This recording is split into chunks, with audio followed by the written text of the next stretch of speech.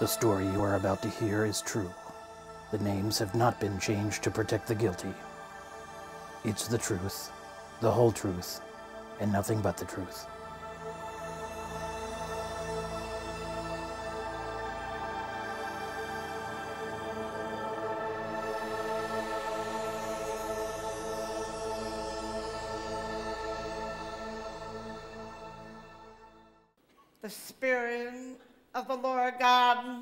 Upon me to bring the good news to the afflicted, to bind up the brokenhearted, to set the captive free, to comfort those who mourn, to bring the oil of gladness and the mantle of praise that wherever I may be, any given second of my life, the Lord God shall be planted. And in that planting, only He and He alone shall be glorified. I come to you not as a preacher, not as a pastor. I come to you not as a teacher either. But if there is one title that I have carried the majority of my life, it's that of a witness. Being profoundly deaf since the age of 18 months, my eyes have been everything to me to behold the majestic splendor of his beauty, to be able to communicate with people by watching their lives and being able to read them. A witness in which I have seen the great and mighty things of the Lord that he has done in my life and also in the lives of the people around me. It is a privilege to follow the footsteps of that woman found in the Bible that Christ first revealed himself to on that Sunday morning of his resurrection. He commanded the woman to go to the disciples to let them know that he had risen. He had risen indeed. And in that one small moment, for the life of that woman, she has set the examples of women in our churches today to proclaim him, to know him, and to make him known. Now, some of you might have remembered that TV show called Sue Thomas, FBI. And as I travel around the country speaking, I find that I keep getting asked three most popular questions. Question number one Are you the real Sue Thomas? I was when I woke up this morning. Question number two How long did you work for the FBI? Only for three and a half years. Just long enough to get a TV show out of it. and question number three Did you really run down the street catching the bad guys? Do I look like I ran down the street catching the bad guys? It's been an awful lot of fun. And I could never ever imagine how God would take that TV series in order to proclaim him and to make him known. You know, if you look back on my life, it has all the elements for Hollywood the drama, the action, the intensity the loss. And yet, when it came down to actually telling the real story of Sue Thomas, Hollywood wouldn't even touch him. Tonight, I'm going to take you behind the scenes. I'm going to share the story that Hollywood wouldn't even touch. Oh, the world has come to think that Sue Thomas is, unique, the sort of a celebrity. But what they have no idea is that the real Sue Thomas is God's greatest sinner, saved by his grace. It's been a little over 25 years since I came to the foot of the cross and I surrendered. I gave up my life that my Lord might live in me, that He would complete me, that He would strengthen me. 25 years has passed, and yet I remember the day, that moment, when He first came into my life. I will never, ever forget him. 25 years ago, I attended Columbia Bible College and Seminary. And as I started my 25th year, I had a desire to be able to see Dr. Robertson McQuilkin, who was president of the college at the time when I was there. I wanted to be able to see him, to thank him for the precious gift that he has so given to me when I was a student there. That I arranged to attend a conference where he was speaking. And when I saw him, the emotions, while probably was nothing short this side of heaven, and I said, Dr. McQuilkin, I really would like to have some quality time with you, and just as soon as possible. And he agreed to meet with me the very next morning. And on my way to the meeting with him, I happened to meet the current president of Columbia Bible College and Seminary, Dr. Bill Jones. And he came up to me and said, Sue, I've heard so much about you. I want some time with you. And I said, That's great, Dr. Jones. I'm on my way right now to a meeting with Dr. McQuilkin. I said, It's a homecoming that I've been looking forward to, and if you would like, you may join us. So that day, I sat with the two men and also my traveling companion, Deborah. And we sat at a round table. And I looked at Dr. McQuilkin and I said, You know, I have a question for you. I said, during your tenure as president of the college, do you remember if you ever expelled anybody or if they kicked them out? And he looked a little puzzled. And then he came back and said, No, I don't think that I did, but I honestly can't answer that truthfully because I really can't remember. Then there was a long pause. And he leans forward a little bit and he looks me straight in the eye and he said, Did we kick you out?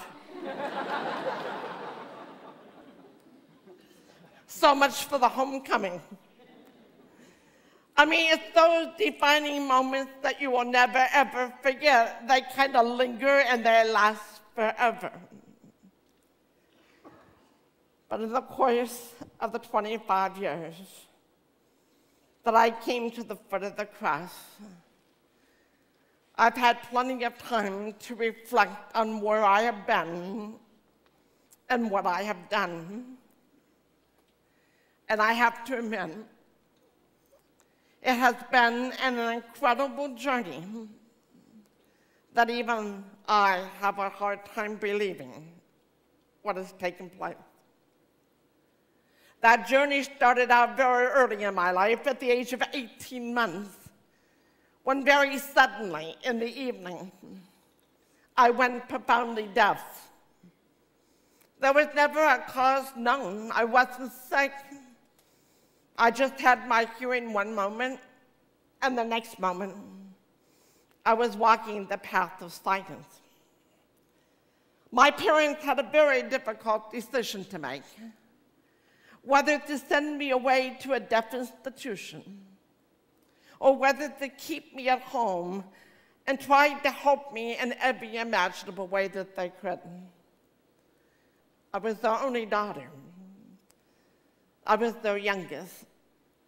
They didn't want to send me away.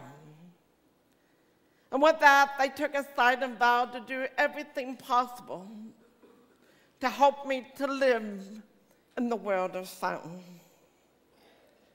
Various therapy was done to instill a voice and speech.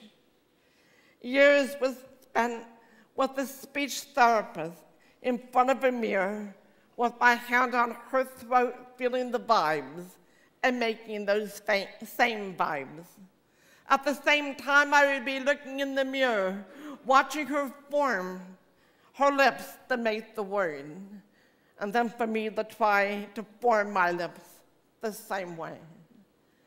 After years of speech therapy came voice lessons. No, not for a professional thing, but only to get my voice to fluctuate, to go up and down and up and down. And after years, the voice came dramatic reading, only for the articulation and enunciation of words. So many, many years has gone into this voice, and yet I know I still talk funny. And people say, oh, no, you don't, but I do. Well, how do you know that? Well, I can be at the airport, a restaurant, a hotel, any place at any time. And somebody will always come up to me and say, Where are you from? you really have an accent. It's just a little bit different. And I'm aware of that. And yet, what deems to be my greatest weakness has turned to be an incredible strength and asset. Because you have to admit, when you're not accustomed to hearing a voice like mine, you kind of sit real still and listen to make sure you don't get anything or forget anything. So tonight, pay attention because I'm going to say some words that you probably have never heard of before in your life. The therapy. How did I ever realize that it would be my greatest weakness and cause me my greatest pain? I went to public school. Teacher put me in the first row so I'd be able to read her lips as best as I could. I really didn't understand too much, but I tried to follow what the class was doing. And I remember that day as far as watching the students stand by their desk. And I finally figured it out. They were introducing themselves to their classmates. It became my turn that day, and I remember getting up and standing beside my desk and very proudly looking out at my classmates and saying something like, ah! And with that, the entire class erupted in laughter. Those kids were laughing so hard that day. I turned around to try to figure why everybody was laughing. And when I couldn't figure it out, I just sat down. But I came to realize that every time I was to open my mouth to speak, the entire class would erupt in laughter. And I got to the point where I wouldn't open my mouth. For 12 years, I sat in the silence, and never once did I open my mouth in that school. The defining moment of having my teacher come up to me one day at my desk And she looked awful sad that day, and she reached down and took my hands in hers, and she led me out of the classroom. And that day it seemed like was an awful long walk. And that was the day I entered another class. I entered what was known as the dummy class. And now all these kids had more ammunition to work with. I just didn't talk funny. I was now the dummy. There were three things in my life as a child that saved me from total despair. One, my parents went to church on Sundays. And they tried to instill in me that there was a God, a supreme being, that did not make any mistakes. They tried to tell me about his son named Jesus. And that if I would hold on to his hand and allow him to lead me and guide me, that there wouldn't be anything that I couldn't do or anything that I couldn't become.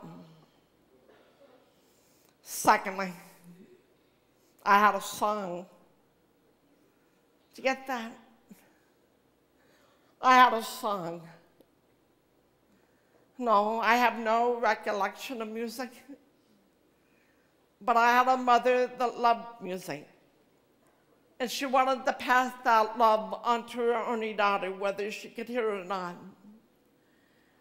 And as a little kid, she would place me on her lap as she sat in the rocking chair, rocking back and forth, singing all of her favorite songs, with my head on her shoulder as she sang. I could feel the vibrations. And if I really liked the song particularly well, my hand would sort of creep up and lay gently on her throat, that I could get all the vibes that I possibly couldn't. It must have been around Christmas time, because one of the first songs that my mom ever taught me was Silent Night. And I loved that song. Now, as a little kid, it wasn't the words. The words had no meaning. Rather, it was the rhythm and the flow that brought forth tremendous peace. And I can remember after a long, lousy day of school, going home on the school bus, looking out the window with my nose all pressed up against the glass so nobody's seeing the tears flow down my cheek. Way down deep, I would start singing Silent Night, and I'd be okay. the only thing I ever wanted as a kid was a friend. Let's face it, who wants to be a friend to a dummy? who wants to be a friend to somebody that talks funny. And I never knew what the word friendship meant, at least not until I got to high school. By the time I went to high school, I met up with those crowds that was totally disrespectful, outright rebellion, into alcohol, into drugs, into everything. And it was my means of escape, at least trying to escape the world of silence. God's hand was upon me, for he brought in a teacher in my junior year that believed in me and began to work with me one on one. It was through her life I went to college. And even though I got to college, it took me eight years to leave the place. eight years passed. I thought the world couldn't wait to give me a job. But I found out the world could wait forever. There wasn't one person that was willing to give me a job simply because I couldn't use the telephone or they thought that I would misunderstand what was being said. And I went back to the same hearing and speech center that taught me to speak, pounded on their doors asking for a job. They felt sorry for me. Why? They hired me even when they didn't have a job. I became like a gopher, a jack of all trades, doing whatever they wanted me to do. And I can remember some days taking paper clips out of one box, sticking those paper clips in another box, and then putting them in the closet. I was only there for a few short months when God was still busy writing the script for my life. You see, it was a friend at the Hearing and Speech Center who in turn had a friend that lived in Washington, D.C., who in turn had a friend that worked for the Department of State, who in turn had a friend that worked for the FBI. Are you following this? so a friend of a friend of a friend of a friend from Washington, D.C. to Youngstown, Ohio, I get wind that the FBI is looking for deaf people. And if you don't think that I panicked, I thought to myself, what did we do? it took them a long time to calm me down that day. Basically, they said you didn't do anything. They just want to know if you want a job. Do I want a job?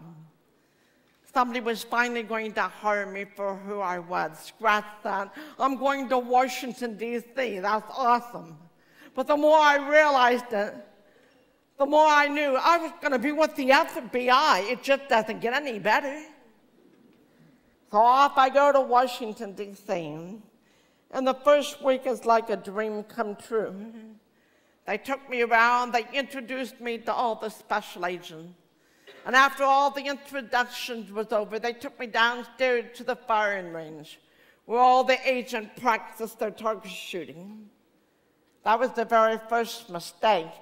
The second mistake is when they handed me a Thompson 45 submachine gun. I shot up their entire shooting that day without even trying. It was a long time before they let me go back downstairs.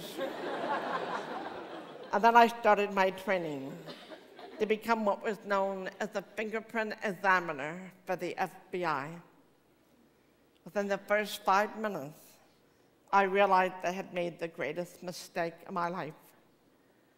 Someday, when you don't have anything else to do, take a look at any one of your fingers really, really close. All those lines are fingerprints. It was my job to count every single one of those lines on that finger, eight hours a day, five days a week. And I can honestly tell you, if you've seen one fingerprint, you've seen them all. one day, my supervisor comes running in. She's all upset. She tells me I have to get to the front office right away. There's only two reasons a person goes to the front office of the FBI either to be terminated from their job or to be interrogated by the FBI agents. I get to the front office, I walk in, and they tell me to sit down. And that day, the questions started. And they went something like this Miss Thomas, we understand that you read lips to communicate, and you do a very good job. But there's only one thing we want to know, just one thing. Do you watch TV?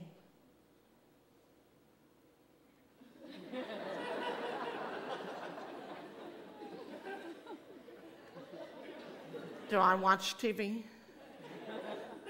That's all you guys want to know?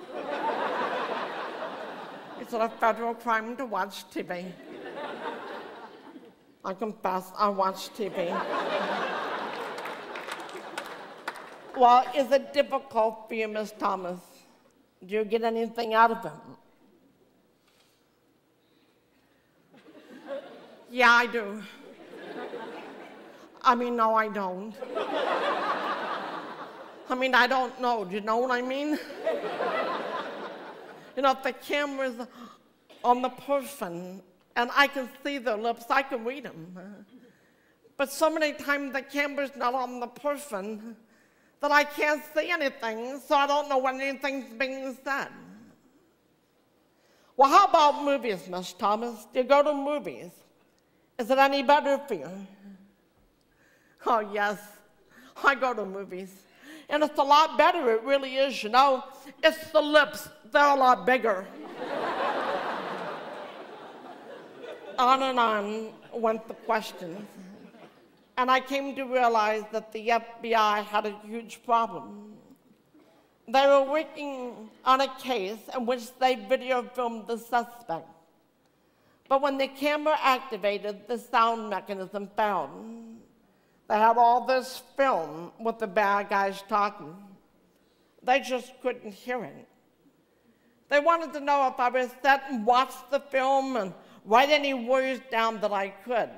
I said, sure, no problem. From that day on, I never went back to reading fingerprints. From that day on, I read lips for the FBI. And they sum up my job. I followed the bad guys around and I read their lips. Then I went and told the good guys what the bad guys were saying.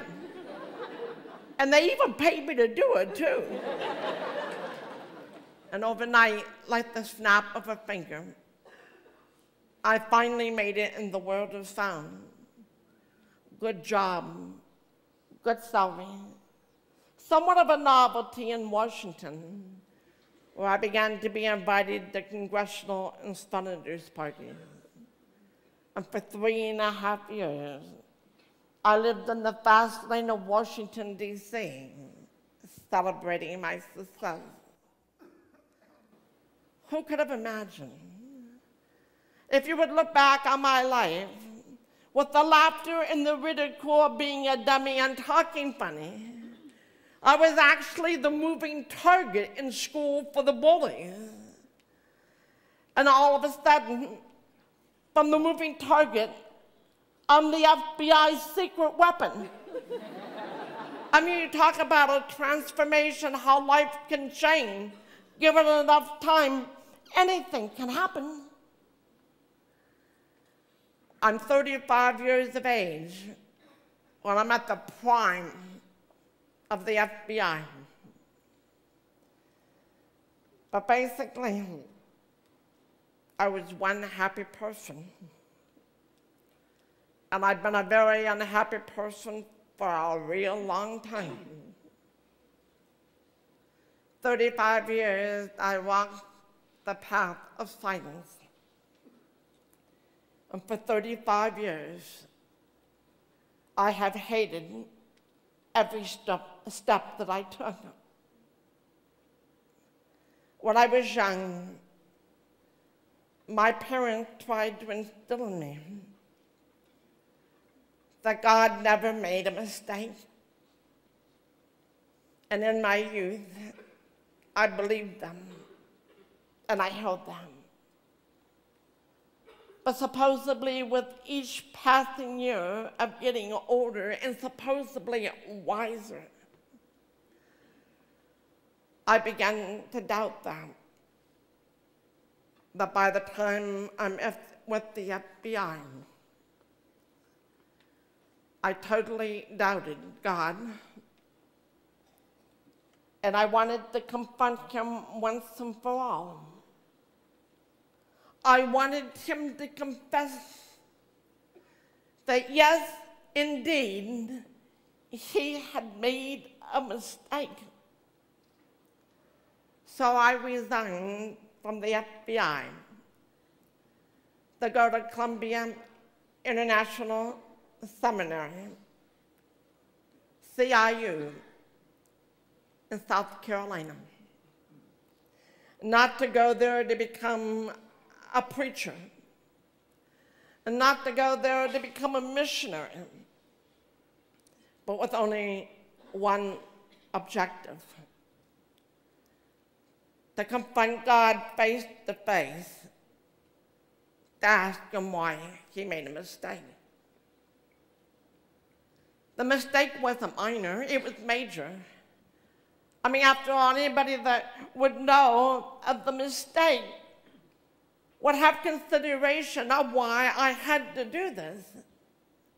It wasn't enough that He created in me a heart that loves people.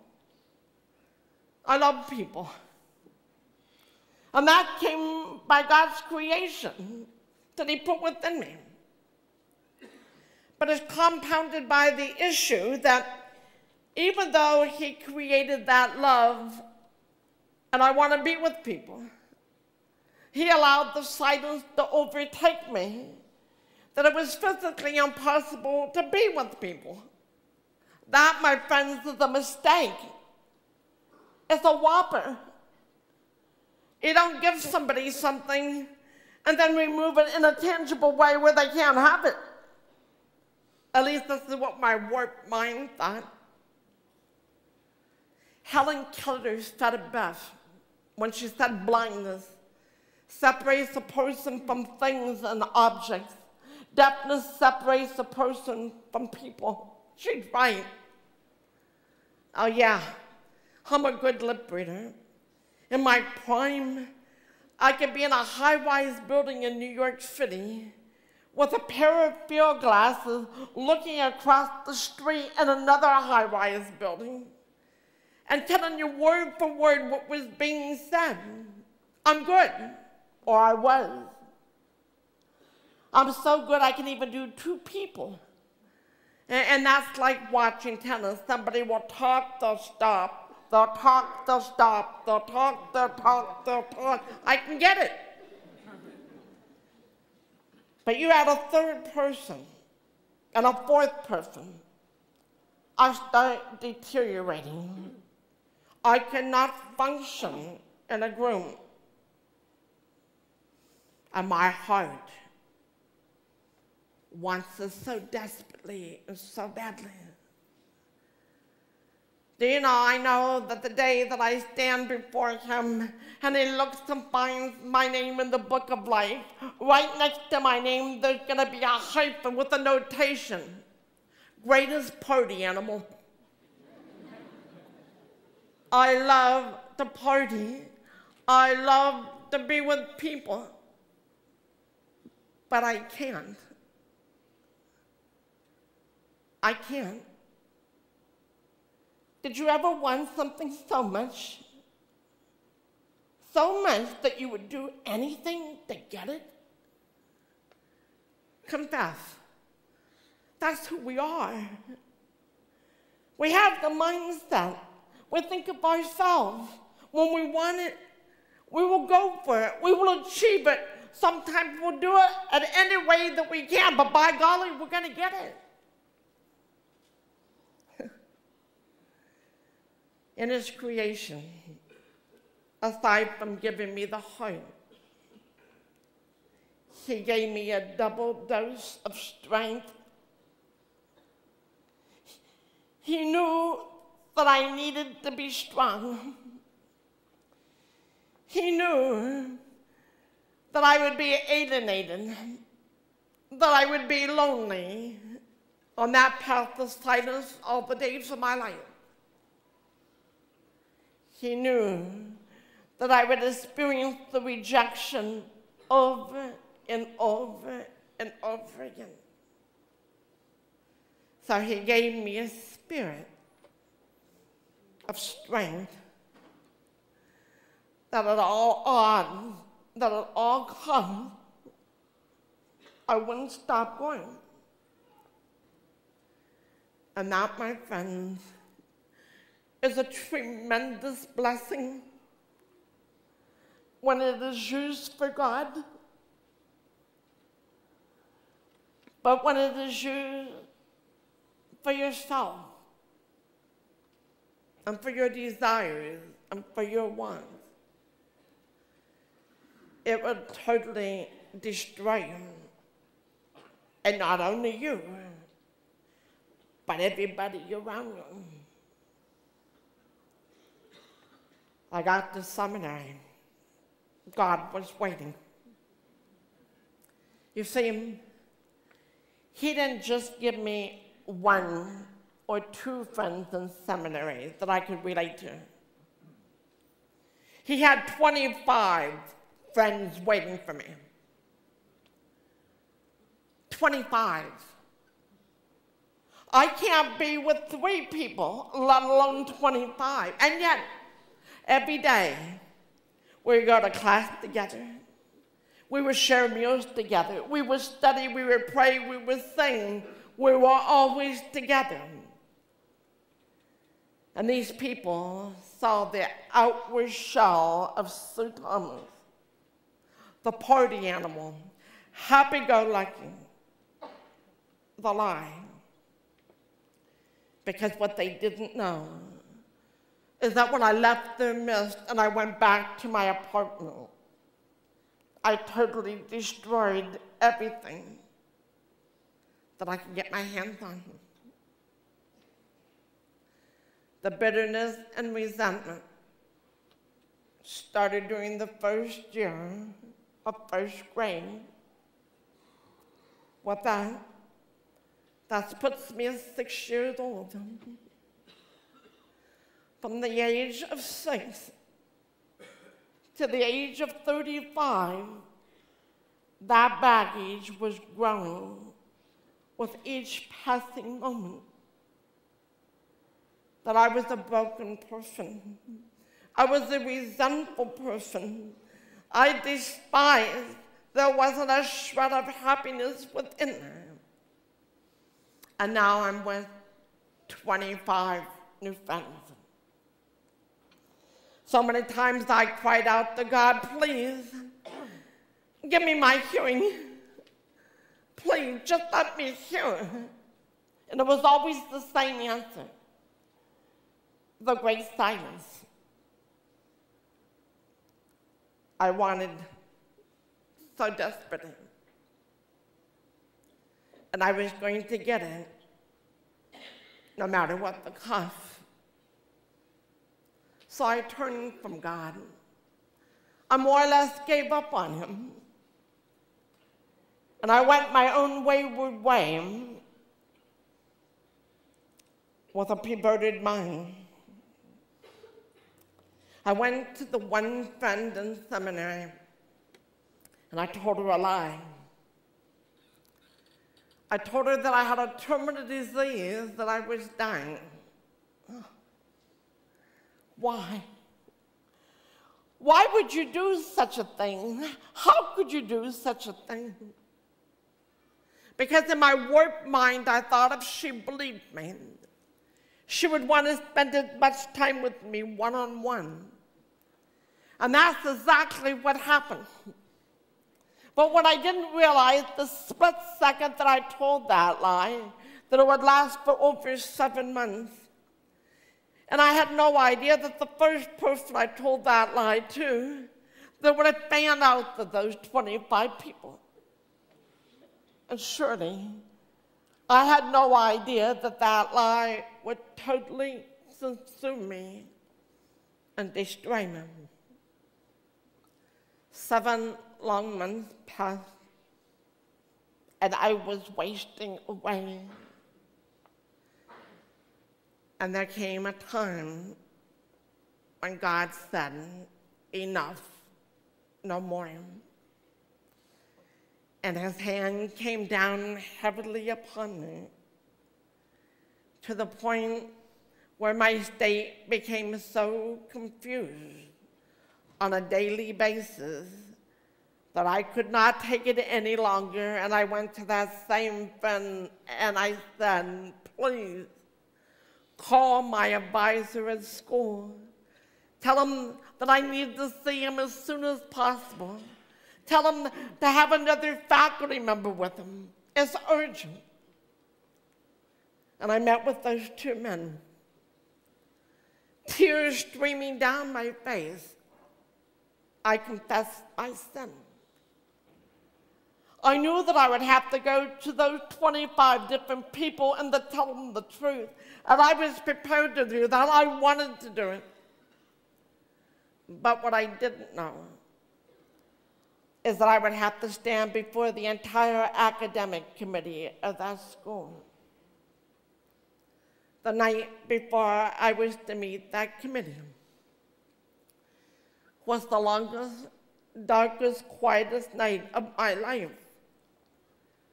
The shame and the guilt was so unbearable that I got my suitcase out and I began to pack to run away. I couldn't face it. And while I'm packing, my Bible fell on the floor. And it fell open, and I reached down and I picked it up and I sat on my bed with the Bible in my lap and I looked down. And when I looked down, I sort of chuckled and I shook my head because I could not believe the pages that were staring back to me.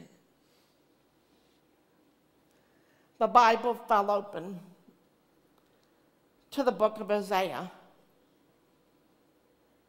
Hosea. How many times do we go to the book of Hosea? I mean, do most people even know that there is a book in the Bible called Hosea? And I'm looking down at this page and it really gets my attention and my interest, so I start reading it. And as I read it, the tears started to flow. And in disbelief, I put the Bible on the bed and I went down on the floor face down. And I cried out for God for mercy, for forgiveness. That I told him that for 35 years I went to church, I sat in the pew, I sang the hymn, I talked the talk and told people I was a Christian. How dare I? I wasn't any more of a Christian than those that won't even profess Him as Lord and Savior. I knew what was inside of me. I knew that I did not hold one decent thing. There was always myself and my ways and what I wanted. I told him that I couldn't live that way anymore that I'd rather die. That night, being flat on the floor, I surrendered my life and I accept him as my Lord and Savior. And I knew that I would never ever take another step in my lifetime that was not his and his will for me because I couldn't live any other way.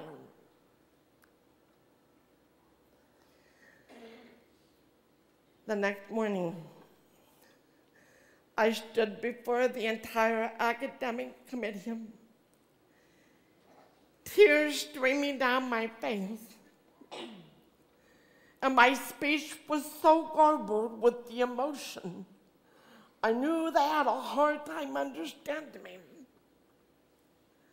I told them that the only reason that I made it was because last night in my darkest hour, God gave me a promise, a promise that was found in the book of Hosea, and that I was holding to that promise for dear life.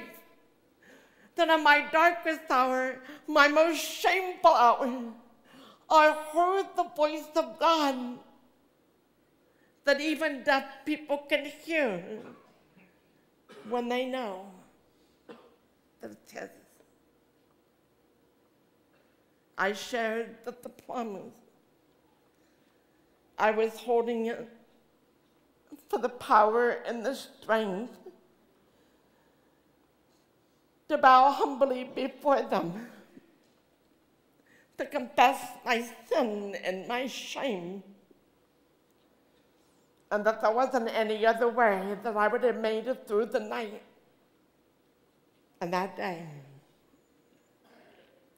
25 years has passed since I stood before those men and shared the promise that God gave me. That promise is still as real today and as vibrant as it was that night in my shame. When he said to me, Oh, Thomas, return to the Lord your God, for you've been crushed by your sin. Take words and come back to me, for my anger will be forever gone. I will love you freely, Thomas. You will blossom like a lily. Your roots will go deeply into the soils of Lebanon. And your people shall return from exile far away and will rest beneath my shadow. The one thing that I remember more than anything else on that day of my confession with us all was one lone man sitting in a chair. His head was in his hands. And as he heard me speak, he shook his head back and forth. And as I watched him, the tears flowed down his face. That man was Dr. Robertson McQuilkin, the man that I could not wait to meet 25 years later to thank. In the days before that meeting, the emotions ran so high. What will I say to him? What can I say? And that day finally arrived. And wouldn't you know it, they sat me right next to him at a dinner table. He looked at me, and the first word that he spoke was, Sue, I'm so proud of you. I looked at him, and the tears began to flow, and I choked them. And I took my napkin and I placed it on the table, and I said, You have to excuse me. And I walked out and I went outside, and I kept thinking, God, he doesn't remember. He can't remember. He said he was proud of me. So I regained my composure and I went back and I was able to finish the meal and at that time I said, Dr. McQuilkin, I need to see you as soon as possible or you meet with me. He said, yes, tomorrow morning. I looked at him. And I said, Did you ever kick anybody out? You ever spell anybody? And he looked puzzled. And he looked at me. He said, I don't think so. But I'm not sure. And then there was the great silence. And he said, Did we kick you out? No, sir. But you could have. And maybe you should have. But you didn't. Instead, you taught me the biblical principle of the love and the forgiveness of Jesus Christ. And you just didn't stop with the love. You walked me through the healing process by telling me that the stipulation for me this day was with biblical counseling. And it wasn't enough that you loved and you forgave me and then you helped heal me. You restored me. And then you sent me. I don't know where I would have been had you kicked me out. But from that day on, Dr. McQuilkin, I only had one desire and one desire alone to go to every nation, to stand before every single generation, to proclaim the love and the faithfulness of Jesus Christ. But I didn't know how God would answer that prayer. And yet, for him, it was like the snap of a finger. All he had to do was a TV show called Sue Thomas FBI. Here in the United States, over 4 million people have watched it. Today, that show is being seen in 65 nations around the world. Germany, South Africa, Malaysia, Vietnam, Singapore, 65 nations. And the people write to me thinking they're writing this celebrity. And I have the opportunity to share celebrity now. God's greatest sinner, saved by grace. Yes. I have that desire to be able to proclaim him now that I know him, now that I love him, to make him known and to bear the truth, the whole truth, and nothing but the truth. So help me God. We try to witness the people and they get as many into the church by saying it's so easy to be a Christian. And we use scripture in the sense that we can't earn it, we can't deserve it. It's a free gift from God, and that's right. But let's tell them the whole truth. Let's tell them that it is the most difficult thing that they will ever do in their lifetime to come with the faith.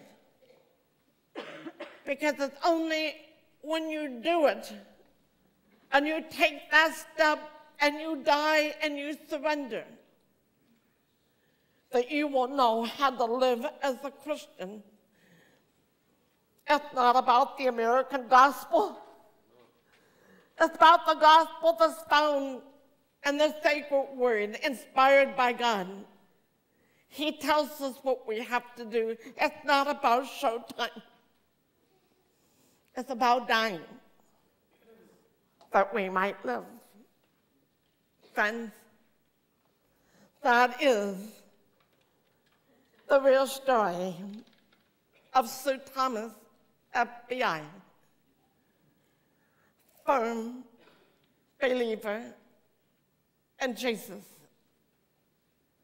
That is the truth, the whole truth, and nothing but the truth. So help me God.